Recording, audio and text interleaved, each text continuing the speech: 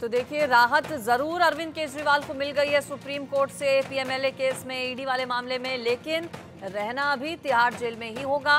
चूँकि सीबीआई की कस्टडी में फ़िलहाल अरविंद केजरीवाल हैं और 25 जुलाई तक उनकी जो रिमांड है, वो बढ़ा दी गई। और चलिए, जल्दी से अब आपको कुछ बड़ी बातें बता देते हैं कि आखिर पूरा मामला है क्या? और राहत अरविंद केजरीवाल के लिए फौरी राहत किस तरह से है? पूरी राहत आखिर क्यों नहीं है?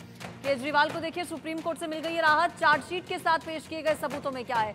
चार्जशीट भी एक पेश की गई ईडी की टीम की ओर से। और उस चार्जशीट में क्या ये आप जानिए? चार्जशीट के पेज नंबर एक सौ सत्तावन पर ईडी ने मोबाइल चैट का स्क्रीनशॉट सबूत के तौर पर पेश किया है। एक रुपए के नोट की फ़ोटो है, जिसका सीरियल नंबर है five eight seven six two one one two. कई सारे सबूत साक्ष्य पेश किए गए हैं। ईडी की टीम की ओर से अटैच किए गए हैं चार्जशीट में। फ़ोटो के अलावा अभिषेक का व्हाट्सएप पर भेजे गए एक मैसेज का भी स्क्रीनशॉट है। स्क्रीनशॉट में लिखा है, थ्री डिलीवर। ये स्क्रीनशॉट साउथ ग्रुप से जुड़ी। अभिषेक की चैट का बताया जा रहा है। कई स्क्रीनशॉट चैट के शेयर किए गए हैं अटैच किए गए हैं चार्जशीट में ईडी की टीम की तरफ़ से। और गोवा चुनावों का जिस तरह का आरोप पहले से ही लगाती आई है ईडी उसका भी ज़िक्र किया गया है। उसको लेकर भी बताया जा रहा है कि सबूत पेश किए गए हैं। और चलिए, मेरे साथ हमारे रिपोर्टर्स भी जुड़ेंगे, उनके पास भी मैं जाऊँगी, लेकिन कुछ और बड़ी बातें आपको बता देते हैं। गिरफ्तारी पर हाईकोर्ट ने क्या कहा था? गिरफ्तारी पर हाईकोर्ट ने कहा था कि इसमें कोई अवैधता नहीं है। जाँच में शामिल होने से बार बार इनकार करने के बाद अरविंद केजरीवाल को गिरफ़्तार किया गया था, चूँकि ईडी के पास कोई विकल्प नहीं था। गिरफ्तारी पर हाईकोर्ट में ईडी की टीम की ओर से क्या कहा गया था? साथ ही साथ ईडी ने जो नई चार्जशीट फ़ाइल की है, उस चार्जशीट में क्या है? कौन कौन से सबूत हैं? किन किन बातों का ज़िक्र है?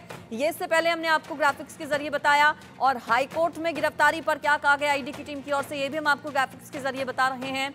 और ज़्यादा लेटेस्ट अपडेट इस पर मैं जान लेती हूँ। मेरे साथ हमारे तीन रिपोर्टर्स जुड़ गए हैं। मेरे साथ दिल्ली से शुभराना जुड़ गई हैं। मेहंदी गर्ग भी मेरे साथ हैं। इसके अलावा मेरे साथ आयुष भी जुड़ गए हैं, हमारे संवाददाता। सबसे पहले आयुष के पास सिलसिले में जाती हूँ, चूँकि आयुष सुप्रीम कोर्ट से तो राहत मिल गई आज। हालाँकि बाहर नहीं आ रहे हैं, जेल में ही रहना होगा, लेकिन जो रूटीन प्रोसेस सीबीआई की चूँकि कस्टडी में है 25 जुलाई तक क्या जेल में ही रहना होगा, चूँकि रिमांड बढ़ा दी गई है आयुष।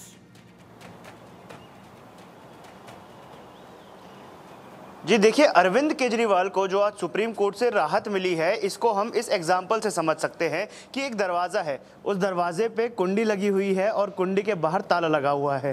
यानी ताला तो अरविंद केजरीवाल के लिए खुल गया, लेकिन वो कुंडी नहीं खुल पाई है और यानी वो दरवाज़ा अब पूरी तरीके से खुल नहीं पाएगा। अरविंद केजरीवाल को अभी लंबे समय तक तिहाड़ जेल में ही रहना होगा। इसके पीछे का कारण ये है कि ईडी की तरफ़ से जो जुडिशल कस्टडी में अरविंद केजरीवाल को भेजा हुआ था, उससे तो जमानत उन्हें सुप्रीम कोर्ट ने दे दी। लेकिन दूसरी ओर जो सीबीआई ने अरविंद केजरीवाल के ऊपर शिकंजा कसा हुआ है, उससे अरविंद केजरीवाल को अब राहत मिलने के आसार नज़र नहीं आ रहे, क्योंकि जब राउज एवेन्यू कोर्ट में इस पूरे मामले में सुनवाई हुई है तो राउज एवेन्यू कोर्ट ने अरविंद केजरीवाल की सीबीआई कस्टडी बढ़ा दी है, और जब तक अरविंद केजरीवाल को सीबीआई कस्टडी से राहत नहीं मिल जाती, तब तक के लिए उनको तिहाड़ जेल में इसी प्रकार से न्यायिक हिरासत में रहना पड़ेगा। जी। ठीक है, आऊँगी आपके पास, बने रहिए आप। शुभ राणा के पास में चली जाती हूँ। शुभ मेहंदी गर्ग मेरे साथ हैं। शुभ नहीं हमारे साथ। मेहंदी, आज सुप्रीम कोर्ट ने जिस तरह से अरविंद केजरीवाल को राहत दी, उसके बाद पहले आम आदमी आती है प्रेस कॉन्फ्रेंस करने के लिए आम आदमी पार्टी।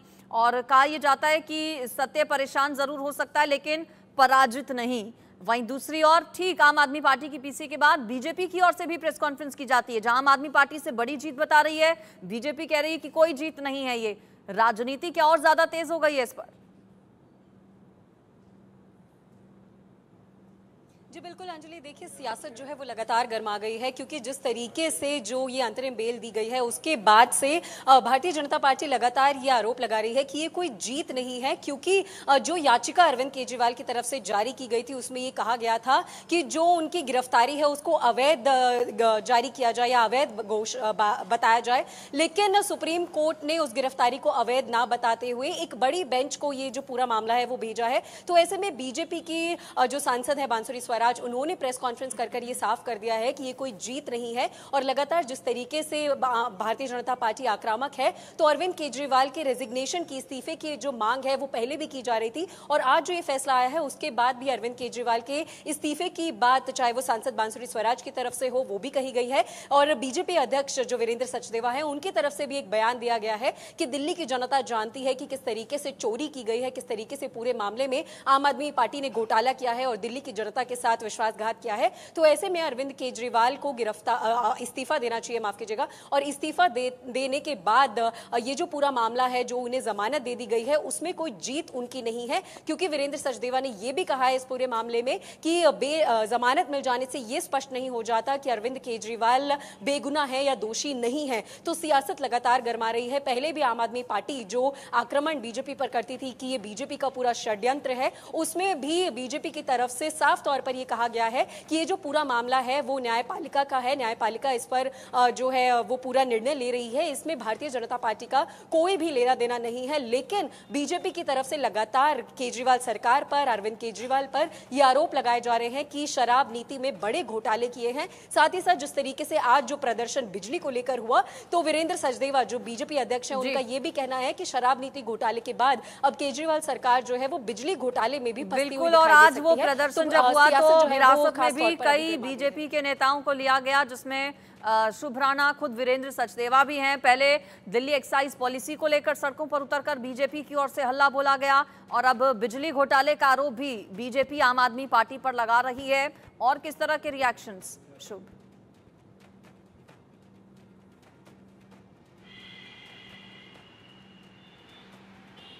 शुभ आवाज़ आ रही है आपको मेरी? चलिए शायद मेरी आवाज़ नहीं पहुँच रही है शुभ जी बिल्कुल। जी। देखिए जिस तरीके से जी देखिए जिस तरीके से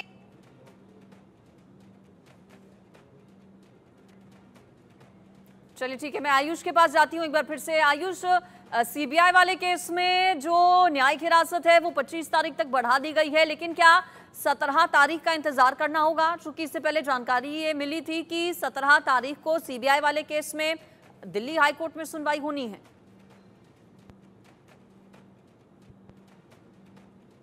जी देखिए जो न्यायिक हिरासत बढ़ाई गई है वो राउज एवेन्यू कोर्ट के द्वारा बढ़ाई गई। अब जब हाई कोर्ट में इस पूरे मामले की सुनवाई होगी वो इस बात पर होगी कि अरविंद केजरीवाल को सीबीआई ने जिस प्रकार से कस्टडी में लिया हुआ है जुडिशियल कस्टडी में भेजा हुआ है वो न्याय संगत है या नहीं? और अगर वो न्याय संगत नहीं है तो उस पर जल्द से जल्द अरविंद केजरीवाल को बेल दी जाए। हालाँकि हाईकोर्ट अगर बेल दे भी देता है अरविंद केजरीवाल को अगर हम इस चीज़ को मान ले कि सत्रह तारीख को हाईकोर्ट अरविंद केजरीवाल को बेल दे देगा उसके बाद भी सीबीआई के पास एक ऑप्शन बचेगा सुप्रीम कोर्ट में जाने का। जो बने रहिए आयुष और मेहंदी मेरे साथ बने हुए हैं आप दोनों मेरे साथ बने रहिए। आगे अपनी बात आयुष आप पूरी कीजिएगा। रिएक्शन चूँकि देखिए कई सारे आए हैं। और सुप्रीम कोर्ट के फैसले को लेकर आरजेडी के सांसद मनोज झा ने क्या कहा ये सुनिए।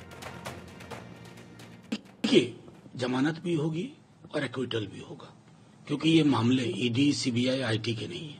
ये मामला बीजेपी के दृष्टिकोण का है। और वो दृष्टिकोण है कि पॉलिटिकली हम नहीं लड़ेंगे हम इन को फ्रंट बना करके लड़ेंगे। हेमंत सोरेन को पाँच महीने रखा। एक युवा आदिवासी नेता को चुनाव से दूर रखा। हाईकोर्ट ने क्या कहा? उसको पढ़ने की ज़रूरत है। कौन पढ़ेगा? ईडी आईटी सीबीआई नहीं। सत्ता शीर्ष के दो लोग। ये उनकी कार्यशैली का परिणाम है कि आपने ये तय कर लिया है कि विपक्ष के नेता जिनसे हम पॉलिटिकली डील नहीं कर पाएँगे, इनको फ्रंट बना करके उनको हम परेशान करने की कोशिश करेंगे। लेकिन भारतीय जनता पार्टी को ये पता